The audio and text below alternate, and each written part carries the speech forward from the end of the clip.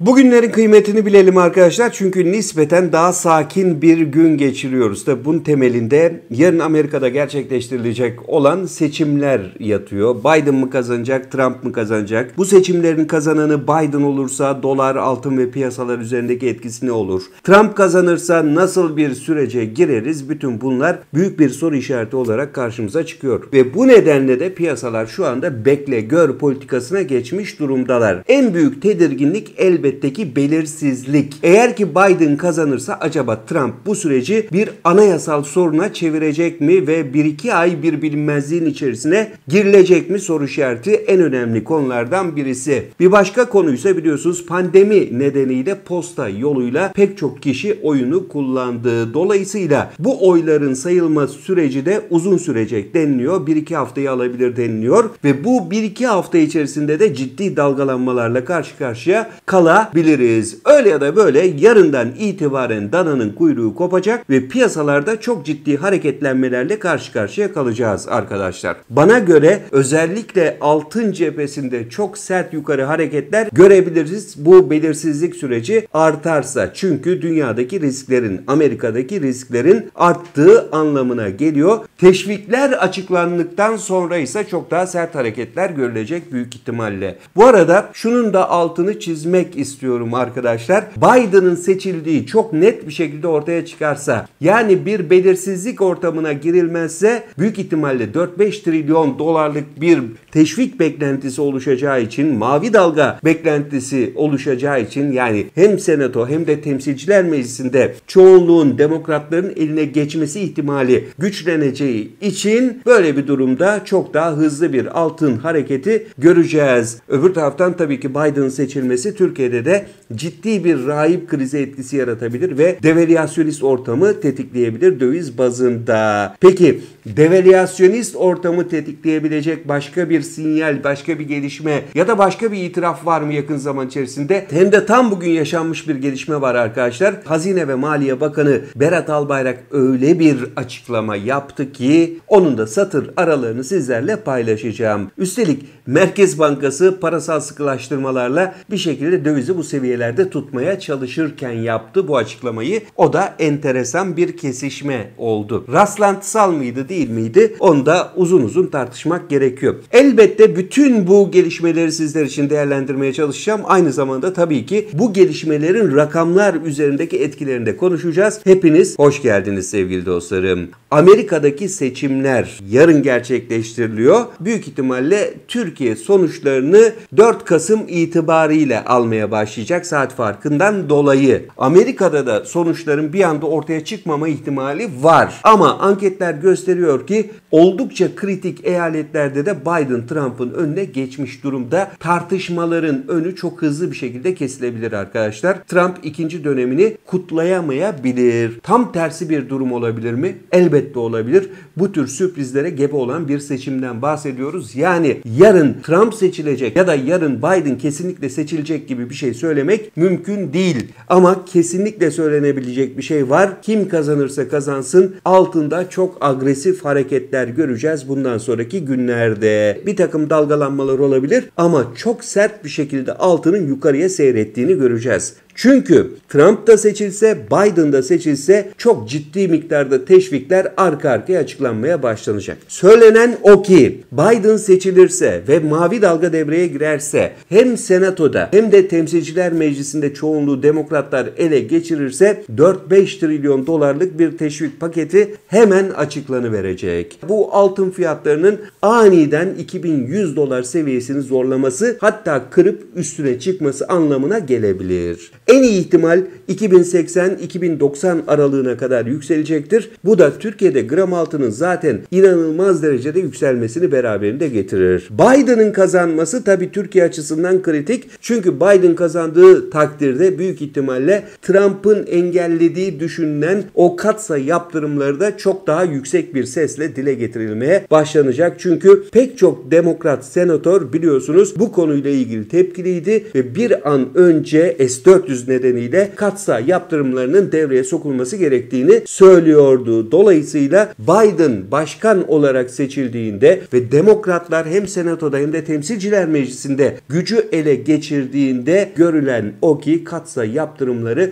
ilk devreye sokulan konulardan birisi olacak ve rahip krizinden bile çok daha sert hareketler görmeye başlayacağız. Hem dolarda hem euroda hem sterlinde hem de benzer dövizlerde yukarıya doğru çok sert hareketler görebiliriz. Türk lirasının çok hızlı bir şekilde değer kaybettiğini görebiliriz. Yani bir devalüasyonist etki görebiliriz. Demek ki Amerika'daki seçimler çok önemli ve bizi de çok yakından ilgilendiriyor. Peki Trump kazanırsa ne olur? Trump kazandığı takdirde de teşvik paketlerinin arka arkaya çıkacağı ortada. Belki katsa yaptırımları bir süre ertelenebilir. O anlamda Türkiye'nin eli biraz daha sağlam durabilir. Ama Trump'ın Çin'le, Rusya'yla nasıl bir dalaşa gireceği de ortada ve buna bağlı olarak Türkiye'ye de daha sert çıkışlar yapmaya başlayabilir. Yani Biden kazanırsa biz çok büyük riskteyiz derken Trump kazandığında da çok ciddi risklerle karşı karşıya kalabiliriz arkadaşlar. Yine dolar üzerindeki devalüasyonist etkiyi hızlandıracaktır. Peki bizimkiler devalüasyonist bir etki olmasın mı istiyorlar? Yani dolar bu seviyelerde kalsın mı istiyorlar gerçekten? Yoksa hem Hazine Bakanı'nın söylediği gibi hem Cumhurbaşkanı'nın desteklediği gibi hem de Merkez Bankası Başkanı'nın dediği gibi artık doları çok da fazla önemsemiyorlar mı? Bana göre ikinci senaryo çok daha ihtimal dahilinde artık arkadaşlar. Çünkü bakın bugün Merkez Bankası bankalar arası piyasadaki bankaların borçlanmalarını kısıtlamak için yani bankaların TL alıp bunu dolara çevirmesini engellemek için bir atak yaptı ve borçlanmaları sıfırladı arkadaşlar. Bunun sonrasında 8.40'ın üzerine çıkan dolar bir miktar gevşedi. 8.47 seviyelerinde biraz durdu. Sonra tekrar 8.40'ı zorladı. O aralıkta gidip gelirken Hazine ve Maliye Bakanı çıktı ve şu açıklamayı yaptı. İhracatın güç kazandığı ve cari dengenin sağlandığı yeni bir döneme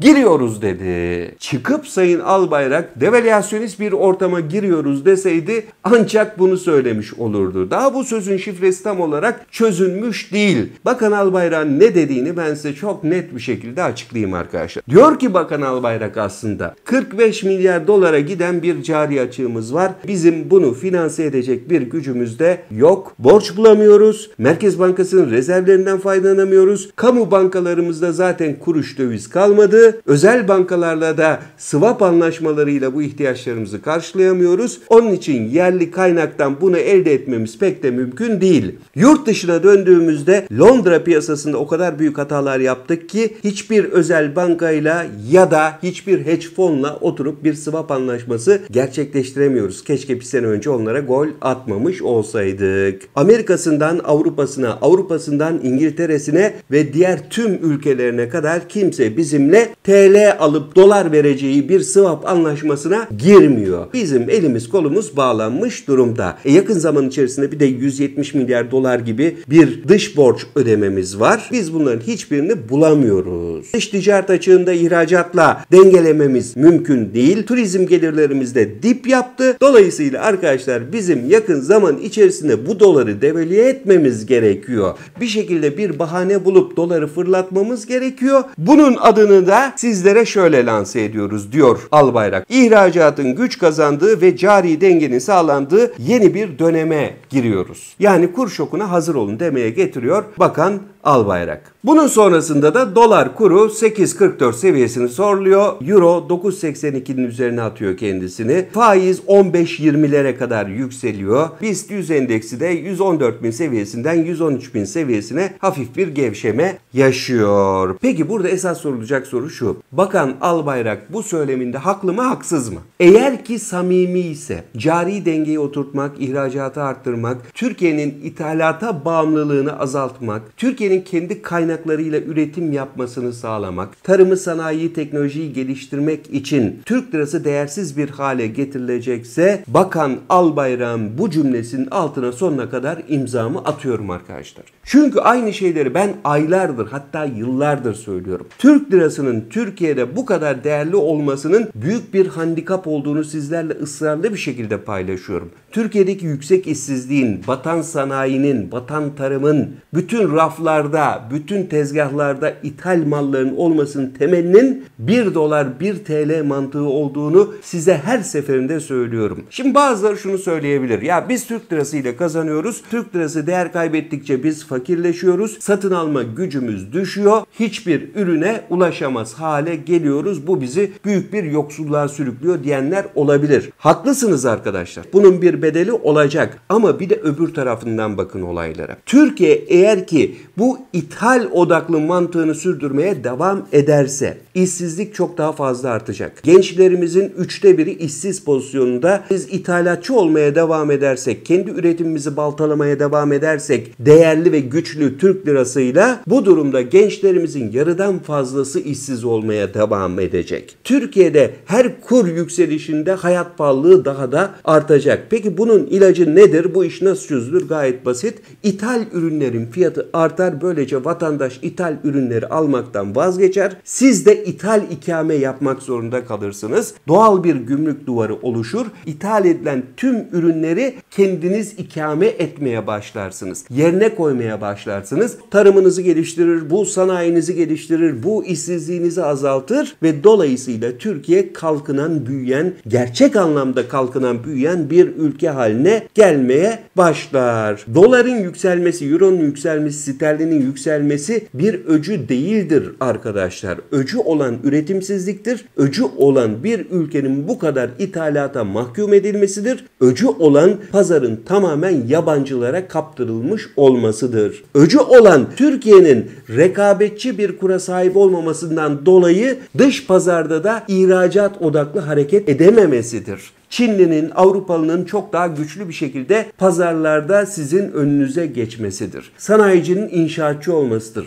Tarımcının bir an önce şurayla ilgili imar çıksa da ben de buraya bir inşaat kondurup parayı götüreyim demesidir. Yanlış olan bunlardır. Doğruyla yanlışı çok iyi bir şekilde ayırt etmemiz gerekiyor. Bakan Albayrak söylediği bu sözde samimi ise dediği gibi güçlü bir ihracat, güçlü bir sanayi, güçlü bir tarım için yani gerçek anlamda bir dönüşüm için Türk lirasının acilen değer kaybetmesi gerektiğini söylüyor ise hızla artan cari açığın kapatılması ve dış borçların kapatılması için bunun olmazsa olmaz olduğunu söylüyor ise tekrar altını çizerek söylüyorum. Bu cümlenin altına ben de imza atıyorum. Ha eğer ki Bakan Albayrak bunu aynı Ağustos 2018'de olduğu gibi söylüyorsa sadece cari açığı kapatmak onlar için yeterli olacaksa ve daha sonrasında da üretimsizliğe devam edilecekse, ithal odaklı bir mantık izlenmeye devam edilecekse, inşaat odaklı bir kafaya dönülecekse, sanayi ve tarım göz ardı edilecekse o zaman bu bakış açısı bizi korkunç bir uçuruma sürükler. Bugün de fakirleşiriz ama bundan iki yıl sonra bir kez daha fakirleşiriz arkadaşlar. Onun için bu ayrımı yapıyorum. Bu şerhi de özellikle koyuyorum. Bu bakış açısının altına hiçbir zaman imza atmadım. Bundan sonra da imza atmamaya devam edeceğim. Onu da özellikle söylemek istiyorum arkadaşlar. Gelelim bundan sonraki günlerde rakamlar ne olacak meselesine.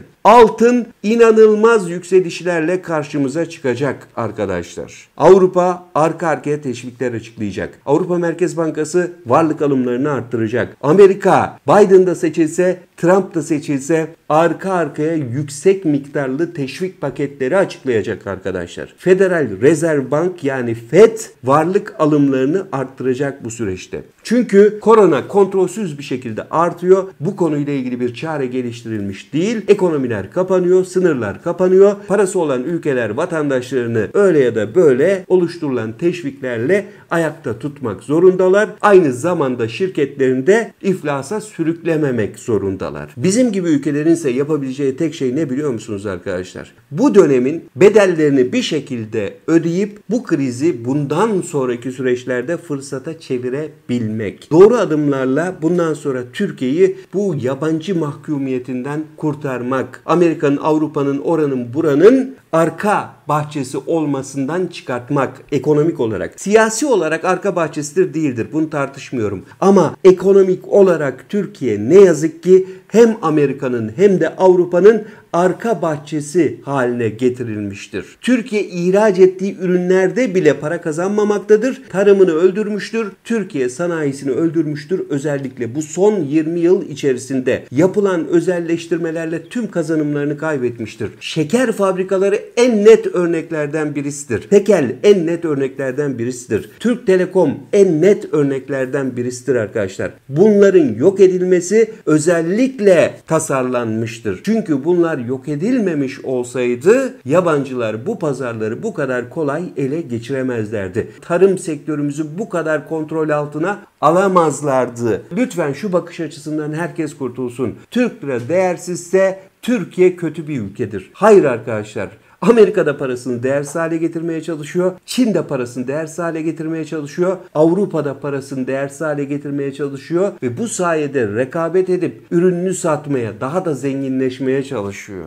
Bu ayrımı doğru yapmadığınız sürece fakirlikle, işsizlikle muhatap olmaya devam edersiniz ve bunun bedellerini de özellikle gençler öder. Gençler de bir yere kadar öder. Daha sonra çok ciddi sosyal patlamalarla karşı karşıya kalınır. 113.848 seviyesinde bir borsa var. İnanılmaz büyük bir balondan bahsediyoruz. Daha da fazla bir şey söylemeye gerek yok. Dolar 8.43.93 seviyesinde emin adımlarla 8.90'a doğru gidiyor.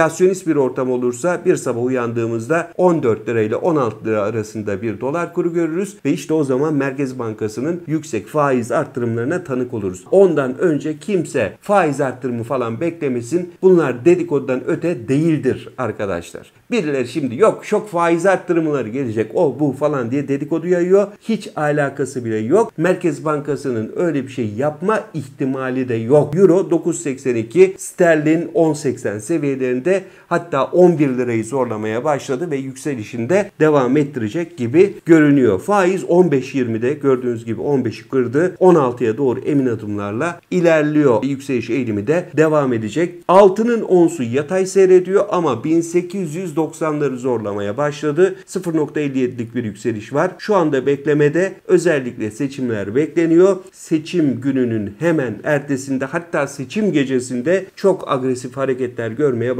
başlayacağız. Altının onsunda. Trump seçilirse çok hafif bir gevşeme dalgalanma olsa da hemen ardından çok agresif bir şekilde yukarıya doğru gidecek ve altının onsu yeni rekor denemeleri yapacak. Özellikle sizleri bu konuyla ilgili uyarmak istiyorum arkadaşlar. Gümüşün onsunda da benzer hareketleri göreceğiz. Gelelim gram gümüş ve gram altına. Gram gümüş önümüzdeki günlerde 9 liraları zorlarsa şaşırmayın arkadaşlar. Gelelim gram altına. Doların agresif yükselişi, 8.90'ları zorlaması, onsun da yeni rekor denemeleri yapması, 2080-2090 aralığına yerleşmesiyle birlikte ilk etapta 595 liralık bir gram altın fiyatı göreceğiz. O olur mu öyle şey demeyin, izleyin, görün. Evet, bu videomda sonuna geldim. Yeni videoda tekrar birlikte olacağız. Görüşene kadar hoşçakalın, mutlu kalın. Yorumlarınızı mutlaka bekliyorum. Abone olmayı ihmal etmeyin. Bildirimlerinizi mutlaka açın. Sizlere çok daha hızlı bir şekilde ulaşıyorum.